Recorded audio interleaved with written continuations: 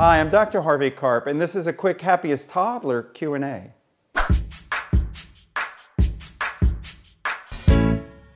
It's wonderful to talk to your toddler in a calm and reasonable voice. In fact, that's the tone of voice you should use most of the time.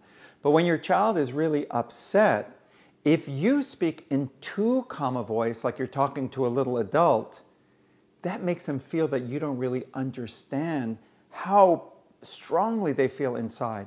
So, for example, if two kids are fighting over a ball and you say to your child, Billy, I know you want the ball, but we have to be patient. Remember, we talked about sharing. You'll get a turn and Bobby gets a turn. That's reasonable and kind, but to someone who's really upset, it feels patronizing, or it feels that you don't even understand how they really feel inside. So when your child is upset, that's when you're going to be relying more on other techniques like the fast food rule and toddlerese.